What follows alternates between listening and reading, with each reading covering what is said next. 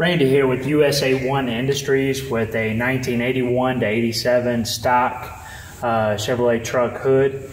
And what I want to show you is our hood insulation that we had produced. Uh, the competition's hood insulation is not pre-punched with the holes for you.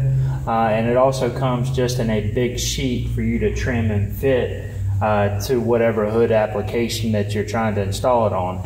Ours, as you can see, the detail all the way around we have uh, die cut this. It goes around the surround uh, for the hood latch uh, and really is an exact fit just like the original. So the other thing is we offer the original style hood insulation clips to make it real easy. Uh, these usually break on you when you go to uh, remove the original hood insulation. So installation of these is very simple.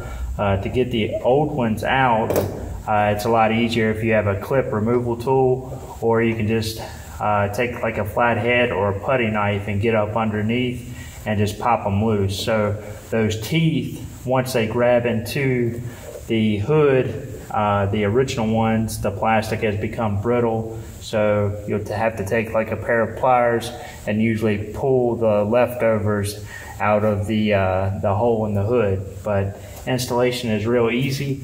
I don't like pushing the clips in really, really hard uh, to where they engage all the way because it actually puts uh, wrinkles in the hood itself. So just push them in until it's a snug fit and only a couple of the teeth on the clip actually engage.